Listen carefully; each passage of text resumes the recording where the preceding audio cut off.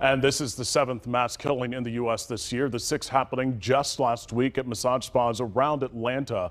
Today, senators meeting to discuss ways to reduce gun violence in our country.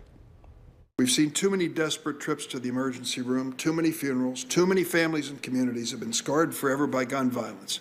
We've come to accept it as part of American life. Today's hearing was already scheduled before these recent attacks. Earlier this month, the House passed two bills that would expand background check requirements for gun purchases.